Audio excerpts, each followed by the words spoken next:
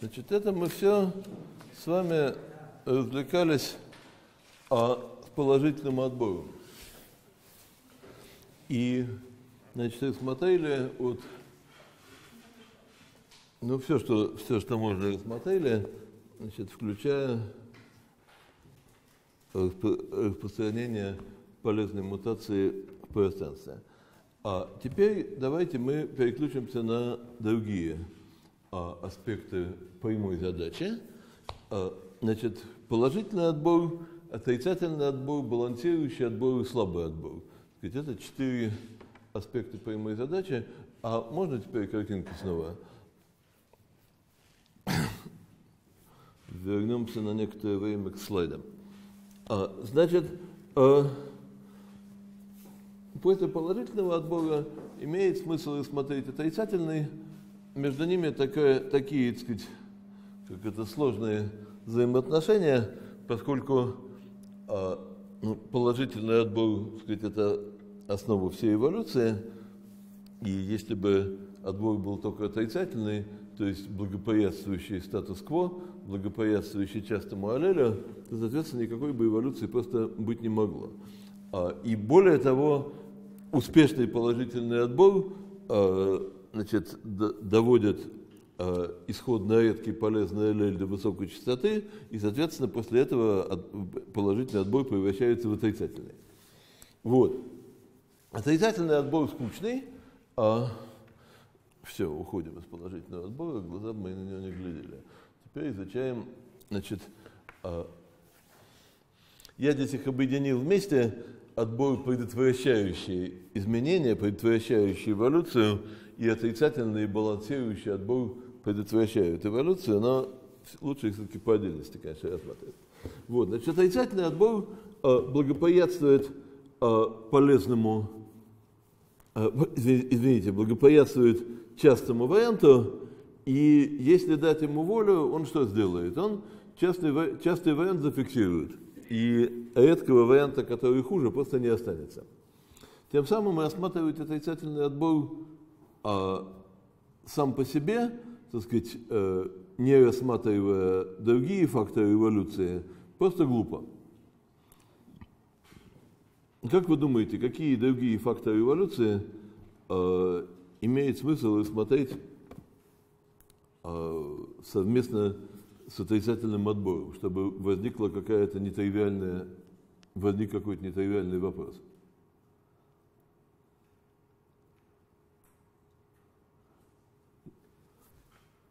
Громче кричите.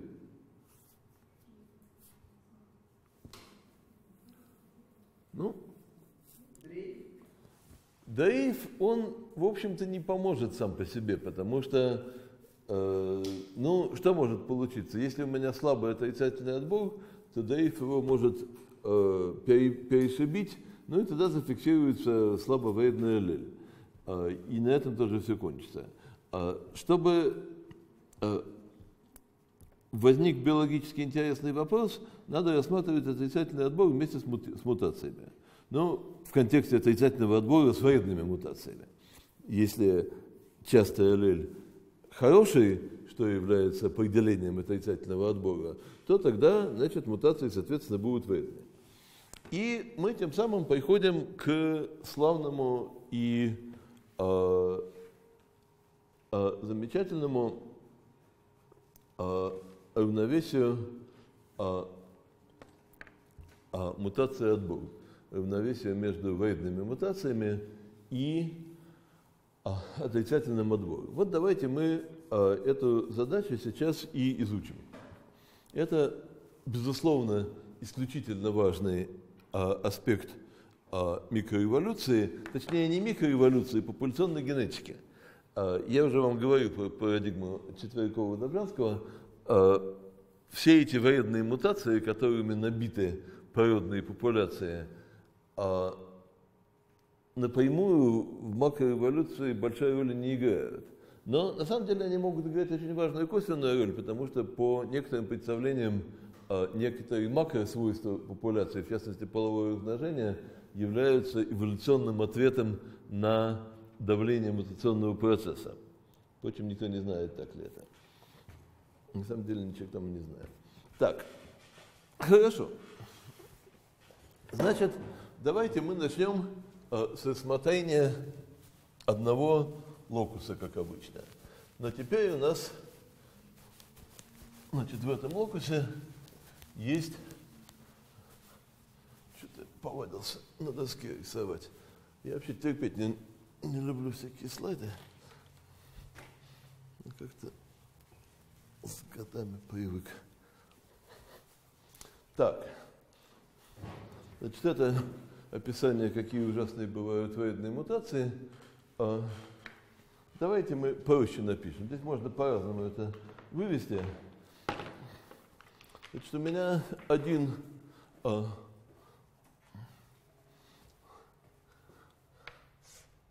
локус с аллелями, а большой это хороший аллель, а маленький плохой.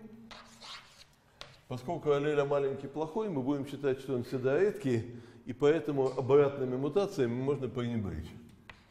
Мутации из хорошего в плохое со скоростью мел, а приспособленности у них единица, а это единица минус s. Значит, коэффициент отбора против вредного редкого аллеля а, а маленькая а, это s, и, соответственно, этот аллель пропал бы из популяции, если бы его а, не создавал мутационный процесс постоянно. Замечательно. А, можно по-разному об этом думать, но давайте введем, собственно, мы уже а, это сделали. Значит, история этого вопроса очень интересная. Первый смотрел равновесие а, между вредными мутациями и отрицательным отбором дядя, которого звали Чарльз Дэнфорд, аж в 1918 году. И потом его забыли, а, и вспомнил о нем только Мюллер в 1948 году, а подход Дэнфорда был очень интуитивный, я более-менее буду этому подходу следовать. А, как перевести на русский язык слово pervasiveness? Но даже не в слове дело, мы с вами разбирали э, вопрос о том, с какой вероятностью возникшая полезная мутация не сдохнет э, на больших временах асимптотически. А если мутация вредная, она, конечно, рано или поздно сдохнет. Но вопрос вот какой. Э, каково ожидаемое число копий вредной мутации? Вот возник один вредный мутантный аллель. И он может сразу сдохнуть, а может он дать пятерых потомков, которые потом все сдохнут. Так вот, э, каково общее ожидаемое число копий э, вредного мутантного аллеля, э, которое будет присутствовать в популяции во всех поколениях до того, как последнее из потомков этого аллеля не сдохнет. Вот каким словом назвать это ожидаемое число копий? По-английски говорят pervasiveness этого мутантного аллеля. Как по-русски сказать? Давайте введем термин. Я хвастался, что термин выравнивания придумал я, как перевод alignment. Значит, ну, точнее, мы с Михаилом Абрамовичем Рыдбеком его придумали в 1981 году, потому что слово alignment было, а слова выравнивания не было. Вот, давайте придумаем еще одно, один хороший термин. Еще раз, возник мутантный вредный аллель. Рано или поздно все, все его копии сдохнут, но э, есть какое-то ожидаемое число этих копий, которые значит, вот, будет до того, как они все сдохнут. Как назвать это ожидаемое число? Мера временного успеха. Ну, одно слово какое-нибудь. Живучесть. Живучесть это неплохо. Но живучесть, хорошо, но если никто лучше не предложит, пускай будет живучесть. Злоедаючесть. Хорошо, пускай будет живучесть. Так вот, значит, а, если у меня... Давайте текучесть лучше. Как? Текучесть. Текучесть. Ну почему текучесть? Текучесть совсем, он никуда не течет. Я вообще могу на английский перейти. Как это? Я когда получал вид на жительство в Америке, то они никак не могли мою фамилию написать. Они хотели писать почему-то по-французски через ЦH, а я говорил, что я не Кондрачев, а Кондрашов. И тогда эта чиновница очень возмущалась и сказала, что если у вас такая сложная фамилия, вы пойдите в суд и поменяйте ваше имя на Сэм Джонс, у вас никогда в жизни не будет проблем. И мне эта мысль ужасно понравилась. Я потом поеду в Москву и скажу, hello, my name is Сэм Джонс. Как это, и посмотрю, как всем понравится. Так, так вот, по-русски мы можем как-нибудь это число назвать? Хорошо, ну хрен с ним, пока, значит, за неимением лучшего будет живучесть. Так, значит, э, если живучесть мы назовем ее все-таки не буквой Ж, а буквой П, слово pervasiveness, это будет живучесть. Если живучесть этого аллеля, мы, э, мутантного аллеля мы назовем буквой П, то ежику понятно, что равновесная частота мутантного аллеля будет μ умножить на p, правильно? μ это скорость мутации, и в скольких копиях каждая мутация существует, прежде чем она сдохнет, это p. Значит, равновесная частота а, будет, равновесная частота а, будет скорость мутации умножить на живучесть. А давайте посчитаем живучесть. Значит, как посчитать живучесть? Это сколько копий будет в первом поколении? В первом поколении одна копия. А какое ожидаемое число копий во втором поколении? Единица минус s. Это первое поколение, это второе. А какое ожидаемое число копий в следующем поколении? Единица минус s квадрат. И, так, и так далее. И эта сумма, сумма геометрической прогрессии, которая равняется единице на s.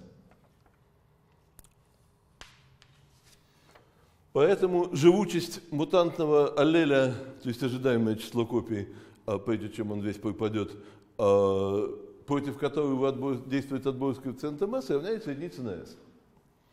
А в частности, если у меня мутантный аллель нейтрален, то есть s равно нулю, то его живучесть оказывается бесконечность. Понятно почему. Если он нейтрален, то в каждом следующем поколении мы ожидаем его ровно одну копию, поскольку нейтральный аллель не подвержен отбору, а подвержен только дрейфу, а дрейф честный, он на соединение не влияет. Поэтому тут будет плюс 1, плюс 1, плюс 1 и так далее. Это значит прогрессия 1 плюс 1 плюс 1 плюс 1 расходится. Но при любом, э, конечности, при любом э, отборе, значит, получается единица на s. Тем самым мы вывели потрясающую формулу.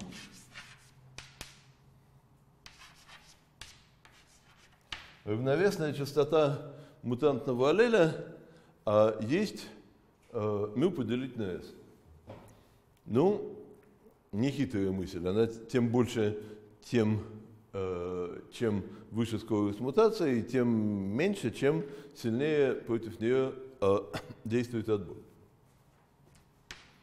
А теперь давайте мы посчитаем среднюю приспособленность этой популяции средняя приспособленность популяции, значит, в ней с частотой, э, с приспособленностью единица присутствует генотипа большое, частота которую вы единицы поделить минус μ на s. И с приспособленностью, приспособленностью единицы минус s имеется у э, генотипа маленькая, которая частота μ поделить на s. Какая будет средняя приспособленность? А, единица минус μ на s а, плюс μ на s минус μ.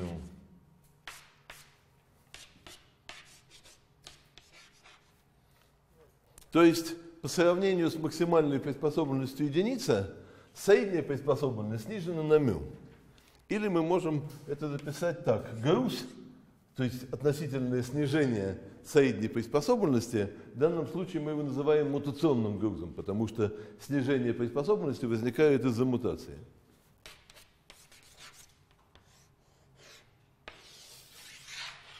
Вот. Вот такой замечательный результат мы получили из ничего. А, снижение приспособленности средней популяции за счет а, мутаци... военных мутаций, э, в равновесии между военными мутациями и отрицательным отбором зависит от скорости мутации, просто равно скорости мутации, и вовсе никак не зависит от силы отбора. То есть у меня могут быть мутации ужасно вредные, а могут быть очень слабо вредные. И груз всегда один и тот же. Эта формула, где-то этот результат называется принцип Халдейна Мюллера. И иногда его э, сказать, формулируют как одна мутация, одна генетическая смерть. Понятно, почему это так. так для индивидуума, конечно, так сказать, лучше нести слабовредную мутацию, чем летальная мутация. Но на популяционном уровне равновесная частота летальных мутаций будет низкая, равновесная частота слабовредных мутаций будет высокая.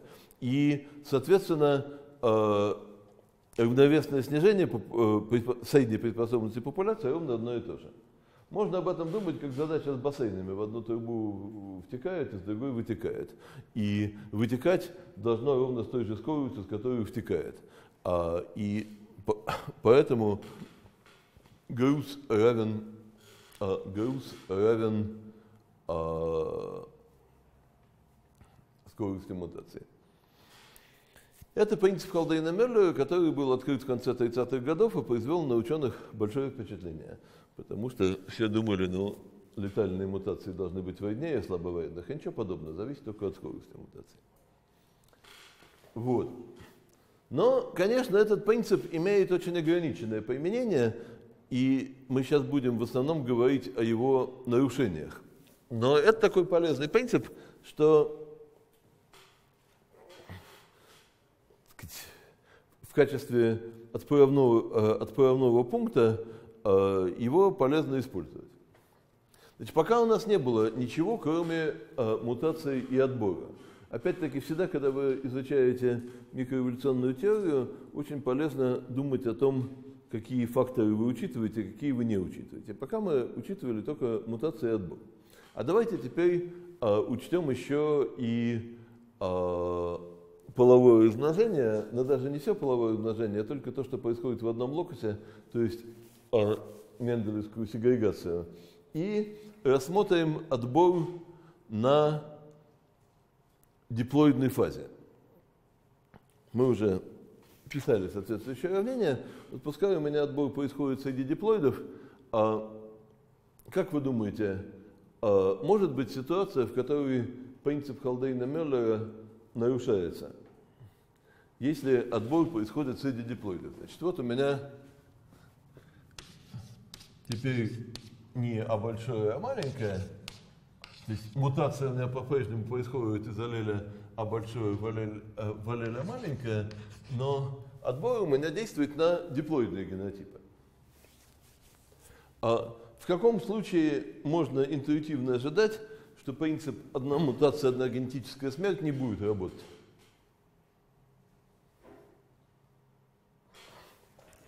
Давайте вот нарисуем здесь приспособленности. Это у меня три генотипа. А здесь их это бульвар.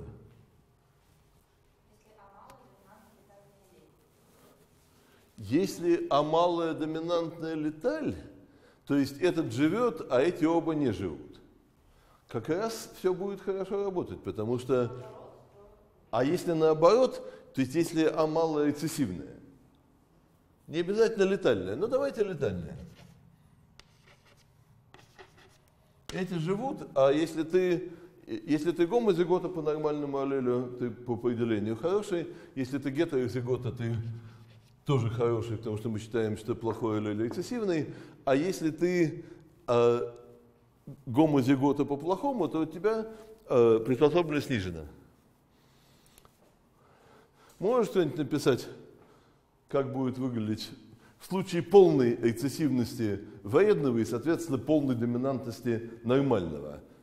L э, будет равно не μ, а чему? Тут все очень просто.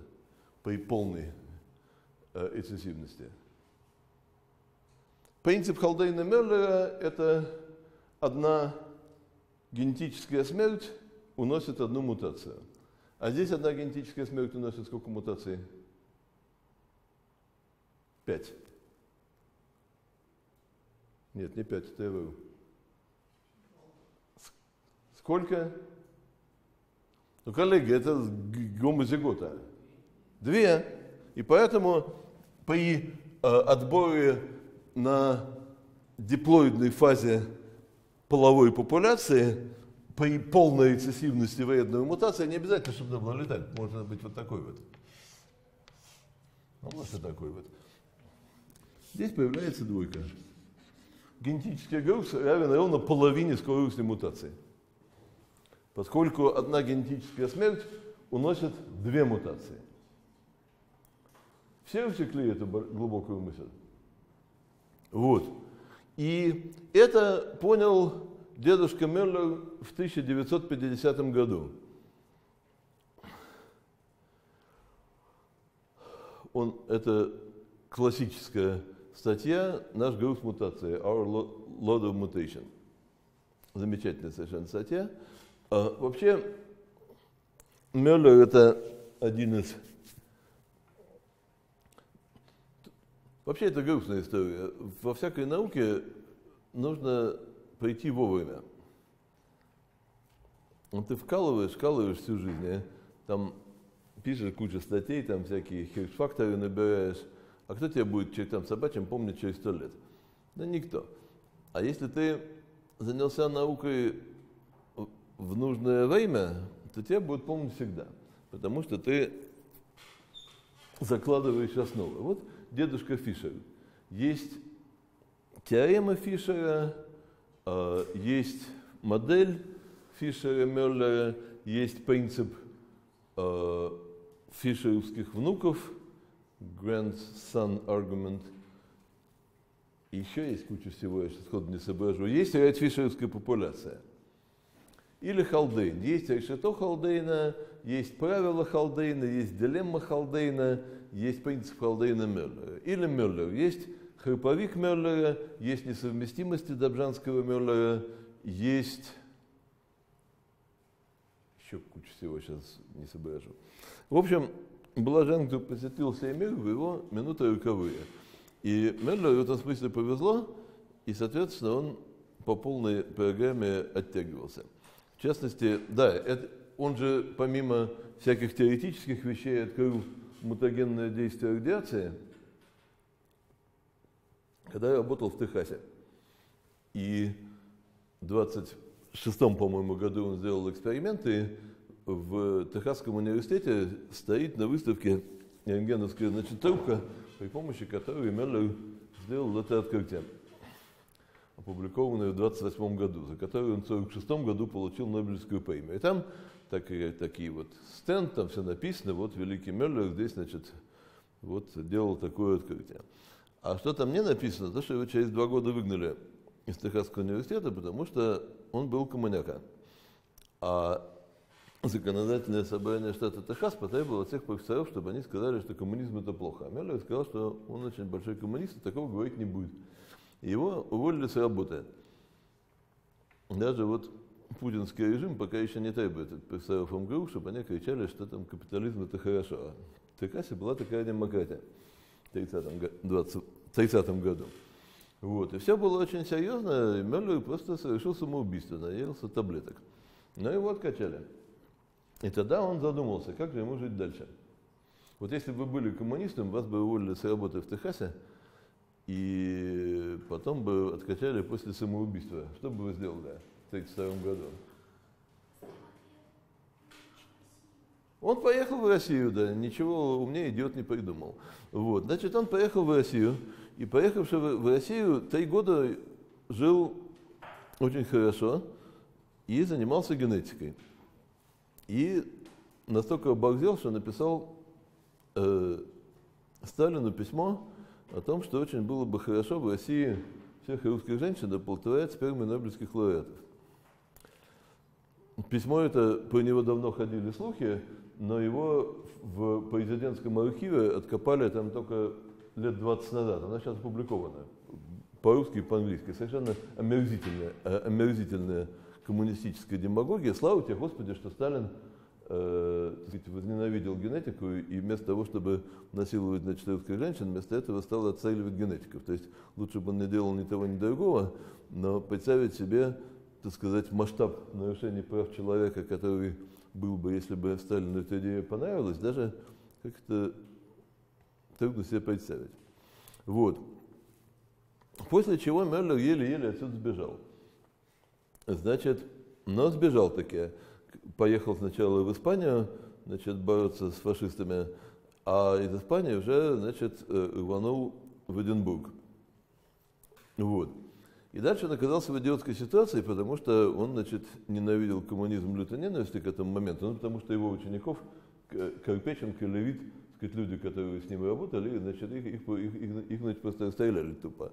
Значит, вот. И, соответственно, он совершенно не любил никаких коммунистов уже больше. А когда он вернулся в Америку, мы сказали, ну, этот коммуняка, значит, еще, соответственно, поработал в Советском Союзе, но ясно, что это за Русь. Вот. Но, впрочем, никакой уголовки ему не шили, но, в общем, работу он получил сразу после того, как получил Нобелевскую премию, постоянную работу. Так что, если вы, у вас есть проблемы с получением работы, то очень все просто. Вы получаете Нобелевскую премию, и вам, значит, и находите работу.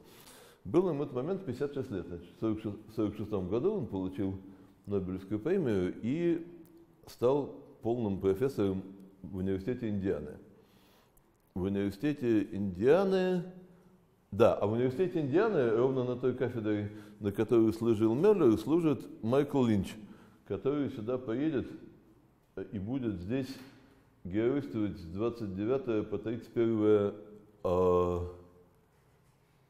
мая. И если кому охота, то с ним можно будет пообщаться, он пойдет в нашу лабораторию и пообсуждать значит, эволюционную науку. Он очень такой известный человек, ну и, в общем, он очень интересный человек. С ним общаешься, и он не производит впечатления очень умного. Там, вот, когда общаешься с Чарльзом, то сразу видно, что сказать, я общаюсь, там, я считаю себя достаточно умным, но там есть, есть было на свете несколько людей, общаясь с которыми, сразу понимаю, что человек умнее меня. Вот Чарльз это один из них. А общаясь с Линчем, я совершенно не чувствую, что он умнее меня. Скорее наоборот. Но, тем не менее, он внес огромный вклад в науку, потому что он вкалывает, как папа Карло. В частности, он написал в соавторстве с Борисом Волшем книгу на 700 страниц про генетику количественных признаков. Это самая ужасная область теоретической генетики. И он, они там ее 15 лет писали и взяли и написали. Всем хотелось, а вот написали только они. Так что, значит, Линч с той, с той же самой кафедры, где последние 20 лет своей жизни провел дедушка Мерлер здесь будет 30 числа. Еще мы не, не договорились, когда он к нам пойдет, но значит, по легенде он просто сюда пойдет, и значит, э, с ним можно будет обсуждать эволюционную науку. Либо послушать, как другие обсуждают. Вот. А дедушка Мерлер, значит, вот в 46 году наконец обрел упокоение в этой Индиане, э, скучном городишке Блумингтон – и в 1964 году, будучи уже 74 лет от роду, опубликовал свою последнюю фундаментальную работу Меллерс Ретчи, так называемый, сказать, замечательный популяционный э, генетический фе, э, э, феномен. Он просто придумал, так сказать, методом размышления. И в 1966 году, в возрасте 76 лет, помер. Такая вот была яркая личность. Так, это я вам рассказал к чему? К тому, что это нарушение принципа Халдейна Мюллера. Значит, это нарушение, связанное, опять-таки, э, с эпистазом внутрилокусным, потому что, а, потому что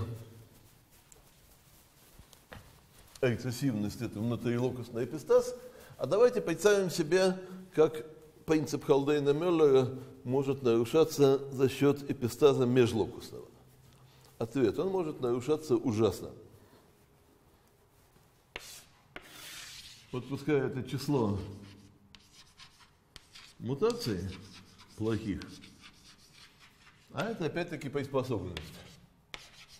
И представим себе, что у меня имеет место вот такой вот отбор или что-то в этом роде. В общем, имеет место сужающая пистация. Если вы еще помните, что было на прошлой неделе, то есть вторая производная логарифма функция приспособленности отрицательная, что в данном случае означает, что каждая последовательная вредная каждая последующая вредная мутация приводит к большему падению относительной приспособленности. Но это предельный случай, а там что-нибудь вот такое вот. Случай отсутствия эпистаза – это экспоненциальное падение. Так вот, если у меня имеет место сужающий эпистаз, то есть вредные мутации усиливают действие друг друга, то что может получиться?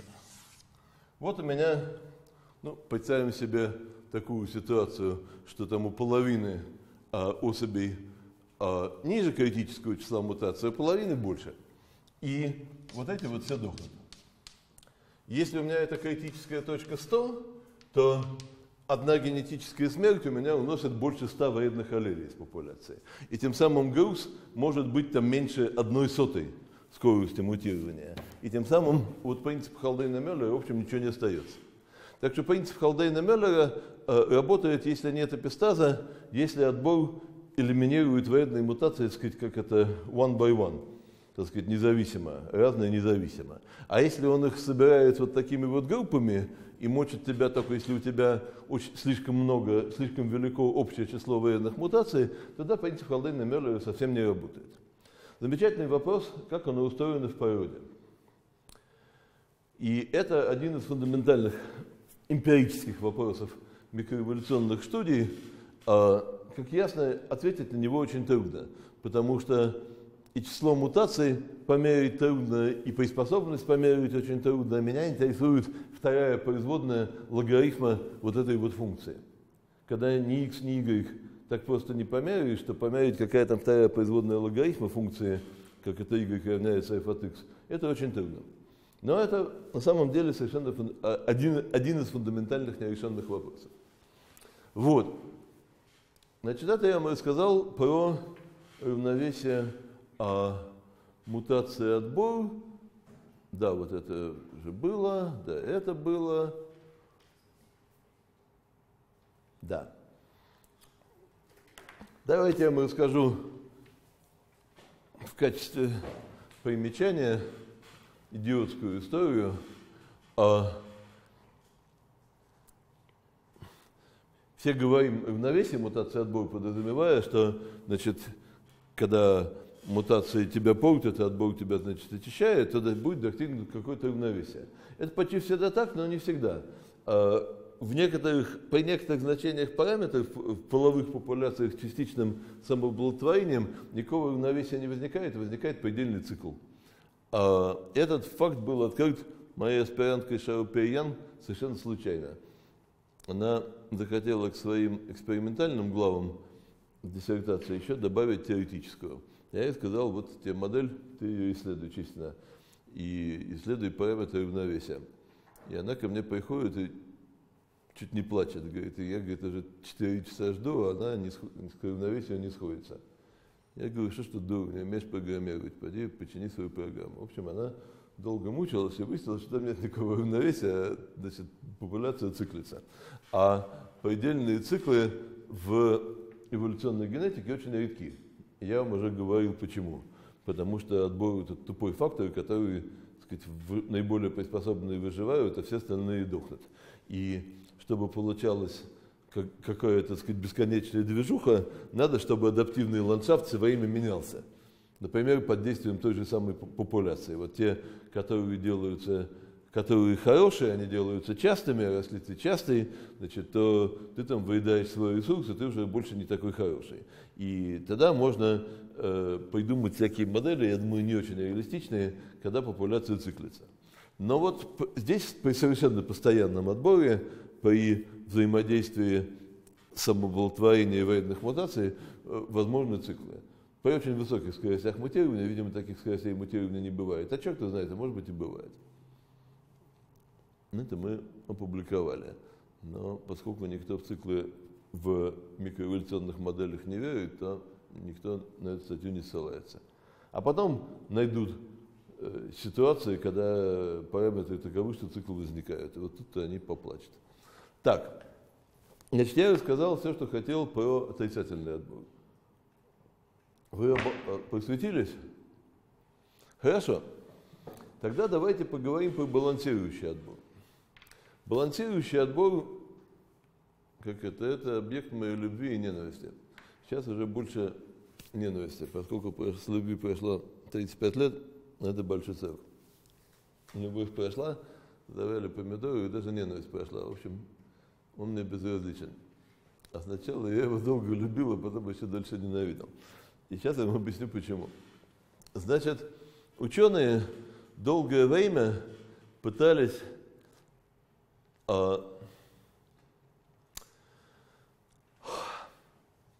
пытались убедить себя и окружающих в том, что э, популяции устроены очень сложно, что это интересный с точки зрения динамической теории объект. А как они могут быть интересны? Ну, отрицательный отбор вообще тоска зеленая. Так сказать, военные мутации возникают, их мочат. Положительный отбор, но тоже он динамически не очень интересен, потому что возникают полезные мутации, они фиксируются. Там интересные параметры этого процесса, но с точки зрения там, теории динамических систем, что там интересного. А вот балансирующий отбор – это сила. Там могут возникать циклы, интегративное равновесие, и хрен знает что. И э, почему-то это, до сих пор отголоски этого дела в стандартных учебниках так сказать, живут. Э, почему-то э, этот идиотский балансирующий отбор э, был ужасно популярен. Ну, нет, понятно, почему он был популярен. Он особенно стал популярен в 60-е годы, мы с вами уже это обсуждали, когда экспериментально было показано, что изменчивость природных популяций огромная, и все сразу стали орать, что эта изменчивость поддерживает отбор. Но какой отбор поддерживает изменчивость? Балансирующий. Значит, балансирующий отбор – это отбор, который любит тебя, если ты редкий. Отрицательный отбор э, любит аллель, который в данном случае редкий. Извините, положительный любит, который редкий, но потом, когда этот аллель станет частым, он его будет продолжать любить. Отрицательный отбор любит аллель, который частый сейчас. Значит, положительный отбор, завершив свое дело, делается отрицательным. А балансирующий отбор, он тебя любит за то, что ты редкий. Вот. И ясно, что эта ситуация, это единственная ситуация, которая может поддерживать изменчивость. Так сказать, по определению, чтобы а, изменчивость активно поддерживалась, нужно, чтобы отбор любил того, кто в данный момент редкий. Вот тогда аллели разные будут существовать. И 90% усилий а популяционно-генетической теории там, до где-нибудь там 75-80 года были направлены на изучение балансирующего отбора. И когда дедушка Кимура сказал, что нам не нужен никакой балансирующий отбор, чтобы объяснить этот огромный уровень изменчивости, эта изменчивость может быть а, там, частично нейтральной, частично военной, а частично значит, полезной. Вот мы видим полезные аллели еще так сказать, до того, как они зафиксировались, а, все на него набросились как шакалы, стали кричать, что это скотство, и вся эта изменчивость поддерживается балансирующим отбором. Вот. И я в это верил, и тогда я его любил. И читал все эти статьи и даже пытался заниматься им. Хотя среди моих ученых результатов ни одного стоящего внимания результата по балансирующий отбор нету. А потом я его возненавидел, потому что я понял, что мне вешали на уши лапшу. Кто как, люди бывают разные, но я единственное, что в жизни не прощаю, это когда мне вешают на уши лапшу. Вот. Но прощаю, когда проходит 40 лет, думаю, ну хрен с вами. Хотя на самом деле самое будет интересно, если окажется, что лапшу никто на уши не вешал, а балансирующий отбор действительно важен. Давайте еще... Я сейчас вот о чем думаю. Э, есть некая совсем-совсем стандартная задача, ну, мы уже начали ее писать, которую я не планировал сегодня рассказывать, но с другой стороны, значит, у меня в обязательной программе, вообще мы, вообще мы как, ни странно, как ни странно, успеваем. Значит, в моей обязательной программе осталось только прямое уравнение Колмогорова, значит, вот распределение с, нулевым потоком вероятности и вся эта наука, вот она здесь написана. Но еще, я думаю, сказать модель, модель сверхдоминирования. А, Она плоха тем, что, видимо, она никакого отношения к реальности не имеет. А хороша она тем, что э, с нее начинается вся, началась вся популяционно-генетическая теория. А хотите модель сверхдоминирования или хрен с ней? Ее, ее можно сказать на, на разном уровне серьезности, так сказать, как это от взятия там ужасных производных, если они очень простые, но вот такой вот величины, и до, так сказать, просто... Ну давайте посмотрим, как... Так, кто совсем не хочет модель сверхдоминирования? Просто м, одна мысль о модели сверхдоминирования вызывает отвращение. Так, а кто ужасно хочет модель сверхдоминирования? Так, я вас довел до состояния, когда вы готовы уже на все. Хорошо. Тогда давайте посмотрим, что получится. Так, значит, ну давайте еще три минуты поговорим про биологию. Значит, балансирующий отбор в широком смысле, когда редкому аллелю делается лучше. Просто по той причине, что он редкий. Как часто такое бывает? Ученые на самом деле не знают. Но давайте подумаем о механизмах. Механизмов балансирующего отбора могут, э, может быть много, а простейший механизм просто разные ресурсы. Вот э, с аллелем а большое ты ешь яблоки, а с аллелем а, а маленькое ты ешь груши. И, и- а ты там это червяк какой-то. И там в саду половина яблонь, половина груш. Значит, соответственно, если о больших делается много, то все яблонь, яблоки сожраны, а груш избыток. И лучше быть о маленьким, и наоборот. Но это так может любой дурак. Это понятно. А есть другая ситуация, которая долгое время,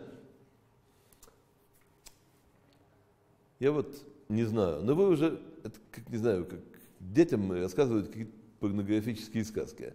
Но вы уже не маленькие, это все-таки не порнографическая сказка, э, по- потому что вообще бы не знать бы про это, про все. Не знаю, вот рассказывать или нет. Потому что в течение долгого времени люди думали, что это вообще суть всей науки.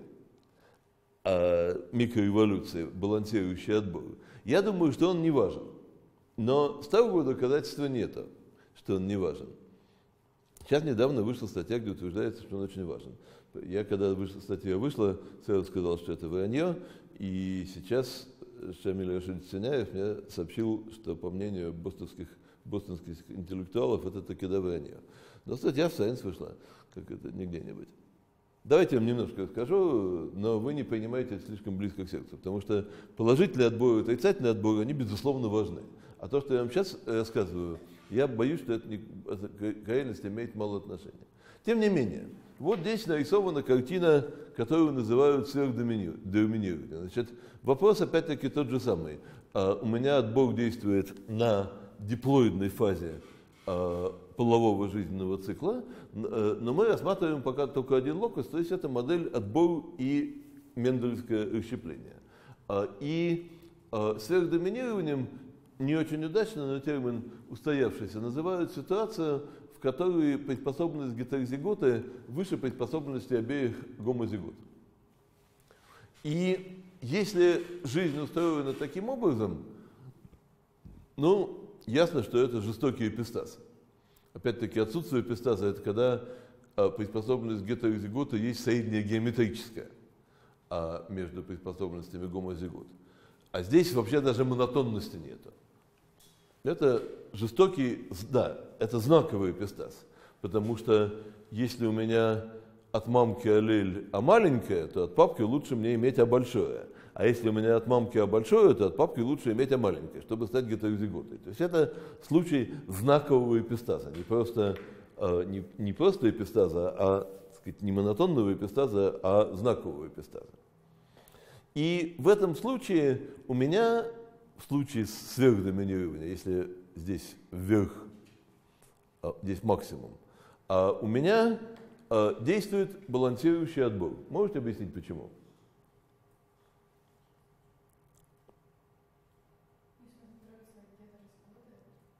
Если гетерозигота лучше обеих гомозигот, то а, поддерживается полиморфизм. Почему? Ну,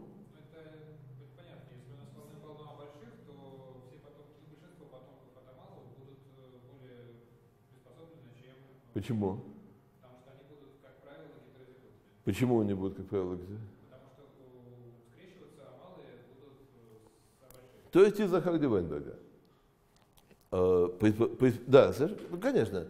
Э, Здесь ключевое слово Харди Вайнберг. Если аллель редкий, то э, поскольку частота гомозигота есть квадрат, то редкий аллель представлен в основном гетерозиготе, что вы, собственно, что вы, собственно, сказали. Э, И поэтому, если гетерозигота лучше обеих гомозигот, то приспособленность редкого аллеля выше. Я сам придумал это объяснение и сообщил его дедушке Крылову 25 лет назад, очень гордый собой.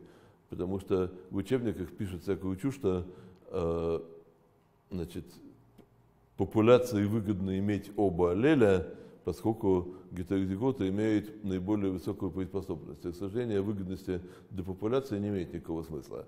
А, сказать, надо понять, почему редкий аллель получает преимущество. Вот потому, потому что редкий аллель в основном представлен гетерозиготами. А, Вот. И дедушка Крылов сказал, что он очень рад моей, моему остроумию, что уже 40 лет использует ровно тот же, значит, ту же логику в преподавании. Вот.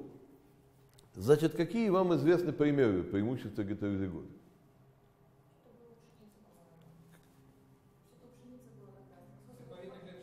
Цеповидно-клеточная анемия. Один знаменитый пример. Если э, у тебя нормальный гемоглобин, то ты более подвержен малярии, а если ты гомозигота по цеповидно-клеточному гемоглобину, это совсем пл- плохо, а значит, если ты гетерозигота, это существенно лучше.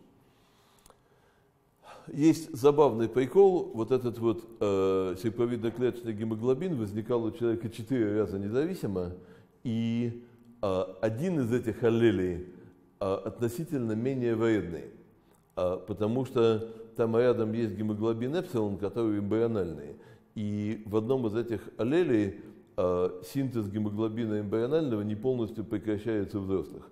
И поэтому, если ты гомозигота по серповидоклеточному аллелю, у тебя сколько-то эмбрионального гемоглобина есть, и ты, так сказать, а, на, на нем, на, на нем как-то можешь жить. Вот. Значит, серповидоклеточная анемия. И еще часто думают про преимущество гетерозигот, когда видят распространенную болезнь э, рецессивную. Ну вот, среди евреев Ашкенази распространена лизосомная болезнь, в частности болезнь Тейсакса. А, И никто не знает почему, но гипотеза, что поскольку европейские евреи жили в гетто а, столетиями, основным фактором смертности был туберкулез. А якобы эти поломки лизосомные в гетерозиготе дают какую-то защиту от туберкулеза. А среди северных европейцев, так сказать, не евреев, а э, так сказать, ну, и немцев, и скан- и скандинавов, и славян расп- распространен э, муковисцидоз. А, Опять-таки, в гомозиготе это очень плохо, а в гетерозиготе якобы тоже эта мутация от чего-то защищает. Вот. Так что, может быть, в локальных популяциях э, очень высокие частоты, ну, относительно высокие частоты аллелей, которые в гомозиготе совсем плохие, а, возможно, связаны с небольшим преимуществом этих аллелей в гетерозиготе. Вот. Но это все все-таки очень редкие вещи. А как вообще обнаруживать э, ситуации, с- когда действует балансирующий отбор? Э, ну, мы об этом поговорим, когда будем говорить об обратной задаче более подробно, но два слова. Э, если действует долго хороший, мощный балансирующий отбор, то мы в родственных видах будем видеть одни и те же полиморфизмы, правильно? Вот есть полиморфизм большое, а маленькое в каком-то локсе, мы увидим у человека и у шимпанзе. Если мы такое увидим, мы радостно закричим, во, балансирующий отбор со времен общего предка поддерживает этот тот же самый полиморфизм. И на эту тему была замечательная история. Знаете, есть такая горькая фиговина под названием фенилтиокарбамид, которую, значит, э, примерно четверть людей, для четверти людей она очень горькая, для половины она умеренно горькая, это гетерозиготая. Вот я гетерозигот. А для половины она безвкусная. Потому что рецепторы, которые, значит, воспринимают эту вещь как горечь, просто сломаны. И еще в 30-е годы каком-то зоопарке, значит, шимпанзе стали давать апельсиновый сок, значит, с этой хреновиной. И выяснилось, что три четверти э, шимпанзе тебе выплескивают в морду, а одна четверть его, значит, пьют. И дедушка Фишер сказал, во, ребята, это балансированный полиморфизм, который балансирующий отбор, преимущество гетерозигот, поддерживает со времен общего предка человека и шимпанзе. Харента, когда его 10 лет назад ресеквенировали, оказалось, что поломанная аллель у человека у шимпанзе поломана совершенно по-разному. То есть этот полиморфизм возник независимо. А порядковым нормальным состоянием является способность чувствовать эту горечь, а поломка, которая значит, сделала нечувствительный аллель, в человеке и шимпанзе возникла независимо, и общего порядка никакого полиморфизма там не было. Вот. А вот статья, которая возникла недавно, да, есть один надежный, безусловный пример сбалансированного полиморфизма, который мы тащим со времен значит, общего порядка шимпанзе. Это связанное с иммунитетом, то, что называется MHS, э, Major Histocompatibility Complex, но гистосовместимость – это когда ты трансплантацию делаешь, по сказать, никто трансплантации не делает, а значит, эта вещь отвечает за иммунный ответ. И там много есть аллелей, как мы видим, э, полиморфизм, сказать, вот такой трансспецифический. Аллеля большое обези... обезьяны ближе к аллелю большого человека, чем к аллелю маленькой обезьяны. И вот в этом самом комплексе э, гистосовместимости, безусловно, есть немалое количество э, вот таких вот аллелей, которые, значит, которые, значит, э, э, в человеческой популяции, которые имеют э, близких аналогов э, у обезьяны. Я в прошлом году выступал в каком-то богословском институте здесь, в Москве. Вообще, грустная картина. Я когда начинал преподавать в Америке эволюционную биологию, это был 93 год, я первый раз читал большой курс, у меня был специальный слайд, что если ваши религиозные убеждения противоречат эволюционной биологии, то вы можете не бояться того, что значит, профессор Кондрашов будет вас преследовать. Потому что профессор Кондрашов вырос при коммунизме и терпеть не может, когда людей преследуют за их даже самые дурацкие убеждения. Поэтому вы должны все выучить и все понимать, иначе вы получите кол. Но что вы по этому думаете в своей, в своей душе, это профессора Кондрашова не касается. И вы должны все понимать, но вы поэтому можете сказать профессору Кондрашову, что он будет гореть в аду, и земля плоская, и так далее, и ваша оценка из-за этого снижена не будет. Я показывал такой слайд, ну, так сказать, без долгих комментариев, но он у меня в первой лекции был.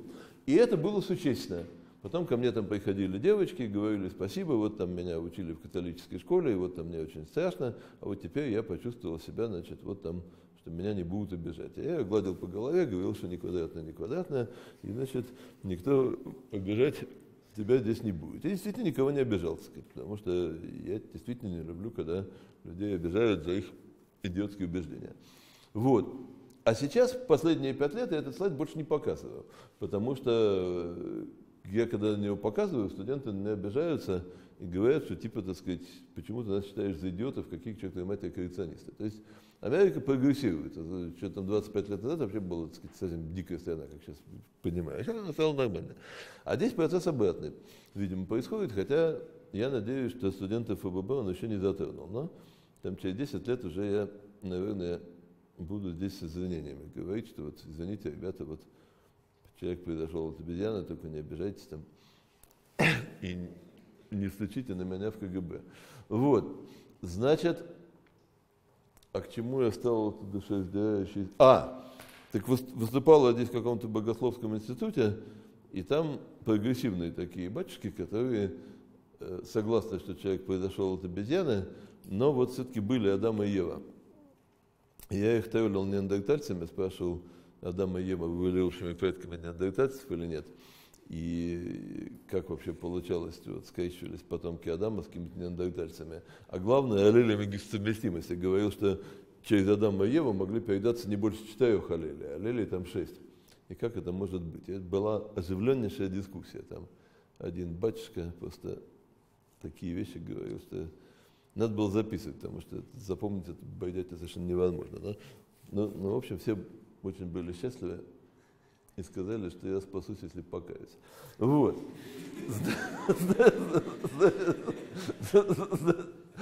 Так, значит, да, так, да, так, э, значит, и в этой статье в Science, э, в этой статье в Science, значит, э, говорится, что полиморфизмов общих между человеком и шимпанзе много.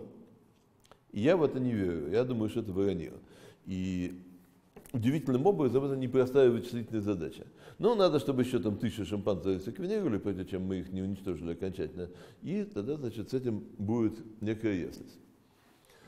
По-моему, все устали, и э, я предлагаю поступить следующим образом. Значит, э, завтра я начну с рассказа про э, модель. Здесь она есть, здесь нет, ни хрена здесь совсем. Здесь ее совсем нет, да. Значит, вот, э, значит я завтра все-таки начну с рассказа про модель э, э, отбора на диплоидной фазе. И тут кто-то мудро сказал, что там два параметра, и в пространстве этих двух параметров, ну, я, наверное, все выкладки опущу, жел, жел, там выкладки абсолютно арифметические, там надо брать большие красивые производные, поскольку модель одномерная, эта устойчивость определяется не собственными числами, а просто, так сказать, тупо э, производные. Эти производные надо брать. Наверное, я их брать не буду, сказать, э, и вы мне к, к, скажу, какие они там есть, а кто, кто значит, въедливый, потом их возьмет.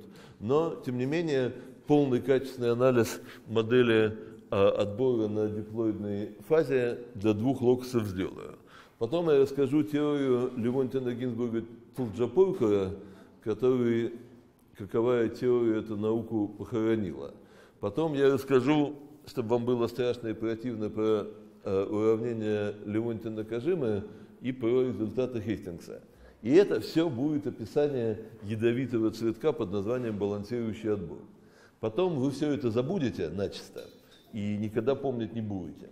А после этого мы разберем слабый отбор, а именно а, уравнение с нулевым потоком, решение с нулевым потоком вероятности для прямого уравнения Колмогорова. В отличие от этих ядовитых, красивых, но противных цветков, а, уравнение Колмогорова – это классика, которая э, действительно описывает реальность.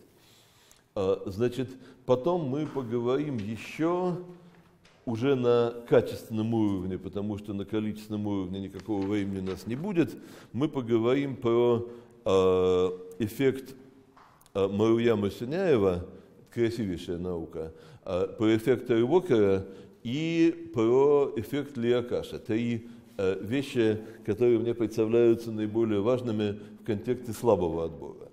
Потом мы переключимся на обратную задачу.